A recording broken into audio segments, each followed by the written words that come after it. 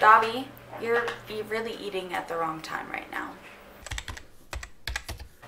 Hey guys, long time no vlog or any sort of video for that matter. I think it's been three or four months at this point, and I somewhat intentionally, but not intentionally, took a break if you can hear him munching, I'm sorry. I have a glass of Diet Ginger Ale and we're just gonna talk about what's been kind of going on. Well, I'll tell you what I can.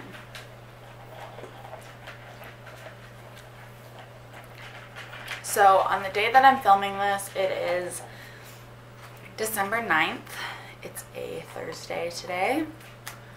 Um, I don't even know where to start, honestly, so I'm just gonna kind of start talking about stuff, and if it's out of order, I'm sorry.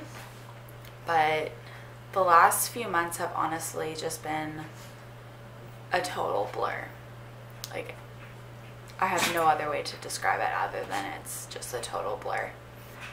Um, so, I guess the biggest thing is I had a gastroscopy. I can't pronounce that word. A gastroscopy done um, early in November, and this was regarding earlier this year. I think it was in February. I ultimately went three weeks without pooping, and I've kind of dealt with that my whole life. It's just something that I've had since I was born, but it's never gotten to the point that it did. And I was referred to a gastroenterologist. And so we did this gastroscopy.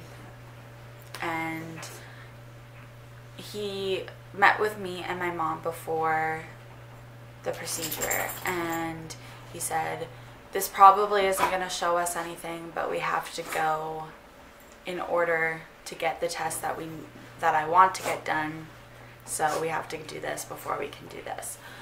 And so I was like, okay, that, I mean, it makes sense. Um, the procedure went well. They discovered that I have a lot of narrowing isn't the right word, but lots of like acidic buildup and swollen uh, esophageal lining where my esophagus and my stomach meet. It's really narrow which can cause a lot of heartburn, acid reflux, all of that. They also discovered that I have bleeding spots in my stomach, which aren't big enough to be classified as ulcers. However, they can cause some pretty big issues, which they have been. And that's part of the reason why I haven't been feeling well. My gastroenterologist suspects that I most likely have gastroparesis, which is delayed stomach and intestinal emptying. So we are going to do a in-depth intestinal ultrasound, which apparently only a gastroenterologist can do. I didn't realize that, so we have to schedule that. And then he also wants to get a gastric emptying study done, which basically he said you eat radioactive toast or eggs and you go for a scan every hour for like four hours. So get to get that done. I mean, both really aren't that bad. It could be so much worse. Do you want to say hi? Do you want to say hi to everybody? Come here. Did you want to say hi? yeah? You a little bit of attention hog? He's mad because I haven't been giving him three hours of belly rubs today. Um, what else has gone on?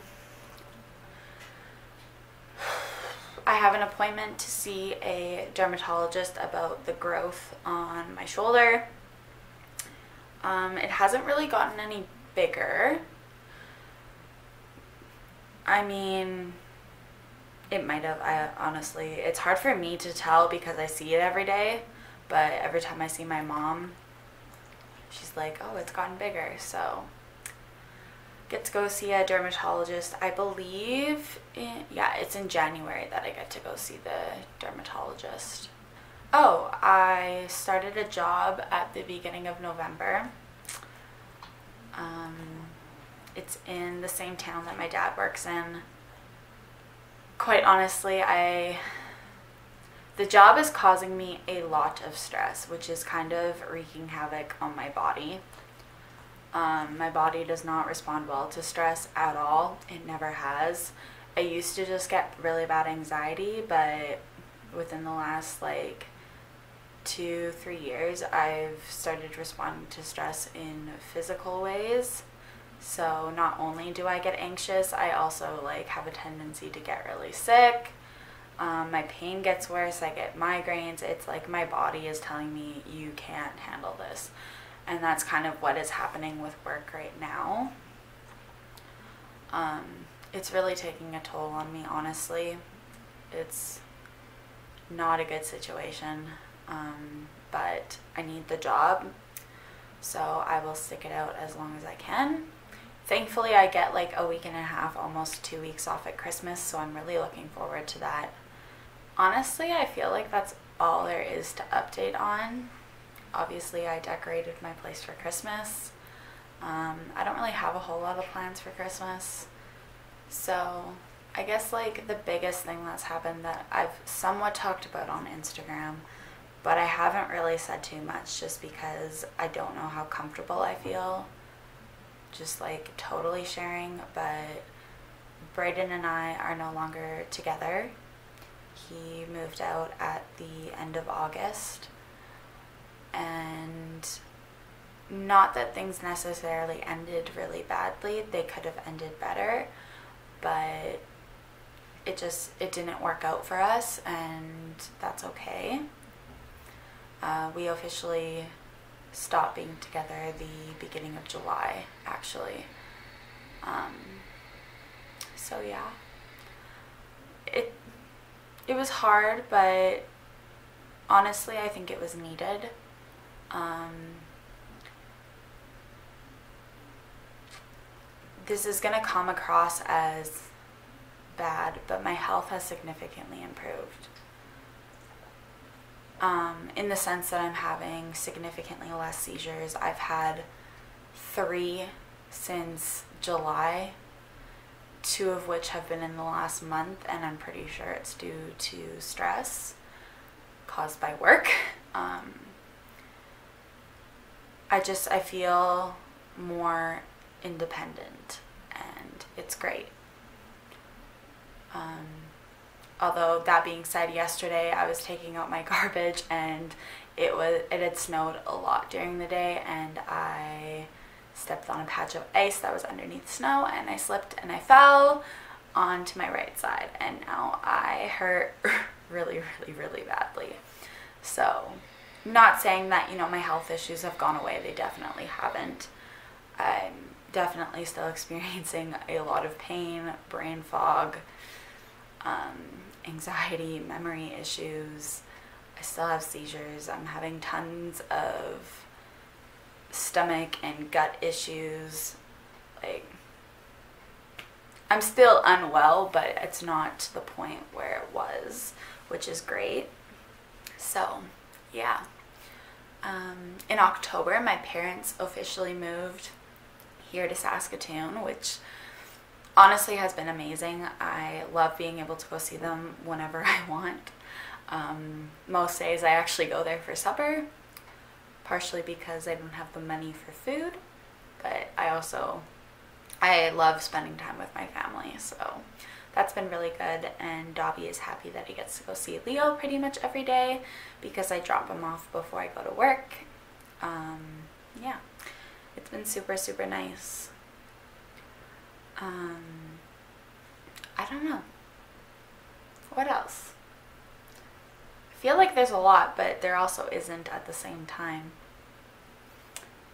I guess another really big thing is, and I feel like I have been somewhat judged because of it, but I'm happy, so I really don't care. I have started seeing somebody Um, I probably won't share that relationship for a while. Um, but I'm happy and he is absolutely amazing and he makes me very, very happy. Um, he gets me out of the house. He is very much an extrovert and I'm very much an introvert. So I kind of level him out and he levels me out so that we're not inside all the time, but we're also not out all the time either. So that's been really good.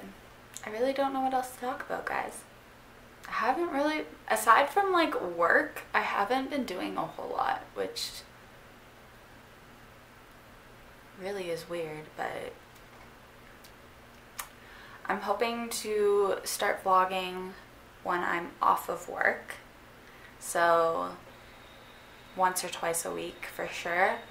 Um, I will try and have a video up as often as I possibly can. However, sometimes it's just really difficult because I don't really do much. So yeah, if there's anything you guys want to see, just let me know in the comments. And until next time, I hope you guys are well, and I'll talk to you soon.